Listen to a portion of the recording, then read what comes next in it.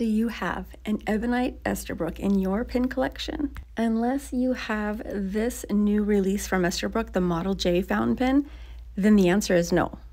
The Esterbrook Model J fountain pen is their first Ebonite pen. In today's fountain pen unboxing, we want to show you the Esterbrook Model J, both color options. This is the Lotus Green Ebonite fountain pen. And below it, you'll see the antique rose, and we'll look at that closer next. They are a threaded cap, the pins are fitted with a number six stainless steel nib, and they're gold plated to match their gold plated trim.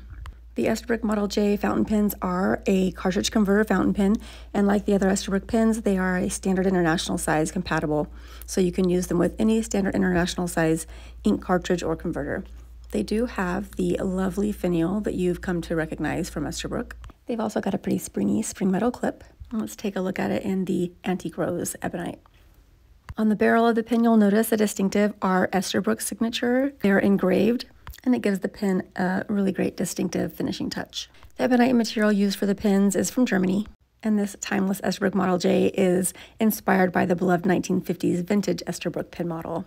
And here's a better look at the beautiful ebonite used for these pins and how it pairs up perfectly with that gold-plated trim. Subscribe at Pen Chalet for more